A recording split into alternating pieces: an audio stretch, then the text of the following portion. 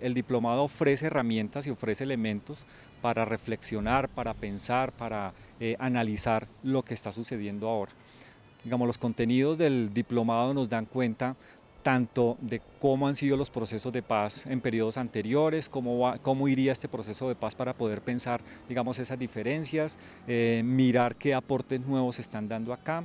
Eh, hay un tema muy importante que trabajamos allá y es el tema precisamente de la sociedad civil, cómo se ha comportado la sociedad civil, cómo las organizaciones, sectores sociales, tanto a nivel nacional como a nivel regional, eh, han sido eh, activas en, el, en, procesos de construcción de paz y cuál podría ser el rol en este contexto y en este momento de la sociedad civil, las organizaciones sociales en construcción de paz, tanto a nivel regional pues como a nivel nacional también y pues elementos de comparación con otros procesos en otros países. La universidad está llamada a, aportar sustancialmente en este proceso, en, la reflexión del país, ayudar a dar elementos, ayudar a dar herramientas para el análisis, para la reflexión, profundizar en eso sí creo que es el, papel, ayudar a mostrar los temas, ayudar a mostrar las dificultades, ayudar a, a mostrar pues toda la complejidad que tiene esto de la construcción de la paz.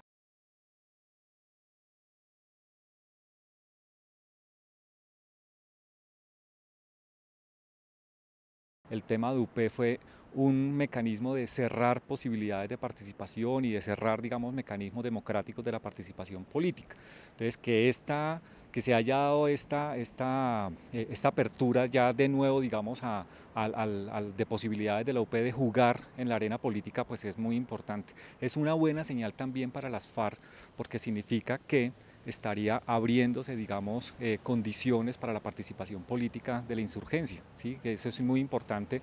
que le demos plataforma, que le demos condiciones para que la insurgencia, para que las guerrillas hagan el tránsito eh, de, la, de, la, vía armada a la vía, a la vía política. Entonces, en ese sentido es una buena señal que no solamente tiene que eh, ser, digamos, para, en respecto al tema de UP, sino que también la discusión tiene que abrirse en términos generales a las condiciones o a las garantías de la oposición política, por ejemplo, que otros partidos de izquierda, otros partidos que hagan parte, eh, digamos, de la oposición a la, a la, oficialidad, pues tengan condiciones eh, para participar políticamente.